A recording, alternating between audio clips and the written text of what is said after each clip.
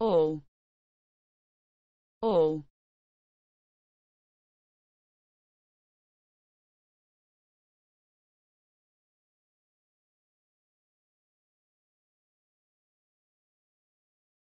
A pointed instrument for piercing small holes, as in leather or wood, used by shoemakers, saddlers, cabinet makers, etc.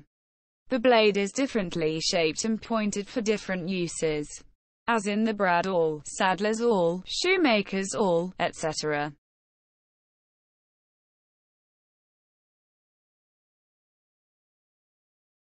Awl Awl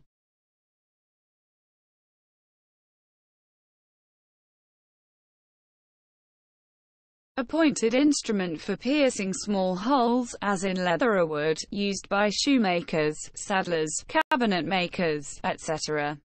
The blade is differently shaped and pointed for different uses, as in the brad awl, saddler's awl, shoemaker's awl, etc.